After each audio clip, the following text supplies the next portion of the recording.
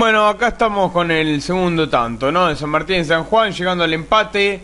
El tanto de Javier Toledo, el ex hombre de Chacarita y de Rosario Central. El centro del Pampa, Gelaber, bombeado. Y el tanto del delantero poniendo San Martín en San Juan 2, Lanús 2. En una flojísima respuesta del arquero Monetti. Un muy buen arquero descuelga el centro. Un buen arquero la saca con la cabeza. Y un arquero la atrapa sin dificultad. Y un hombre común, como, como vos, como yo, como todos los que estamos escuchando, pone la mano floja y se le mete dentro del arco.